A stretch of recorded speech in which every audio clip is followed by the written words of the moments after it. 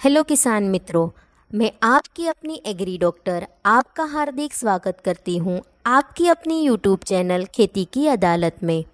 किसान मित्रों, इसके पहले की वीडियो में हमने देखा कपास की फ़सल में खरपतवार नियंत्रण कैसे करें। आज के कृषि ज्ञान में हम जानेंगे कपास यानी नरमे की फ़सल में बेहतरीन अंकुरन पाने के आसान तरीके। पहला है बुआई के तुरंत बाद पानी दे दें। दूसरा है, अगर आप बुआई के पहले पानी देते हैं तो आपको यहाँ पे ध्यान रखना होगा। अगर आपकी मिट्टी रेतीली है तो पानी देने के एक से दो दिन बाद में बुआई करें।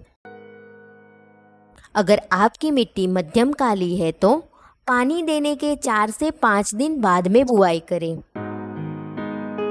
अगर आपकी मिट्टी बहुत बारीक काली मिट्टी है तो पाँच से छः दिन बाद मिट्टी को चेक करें, उसमें नमी की मात्रा चेक करें और उसके बाद छठवें और सातवें दिन में बुआई करें।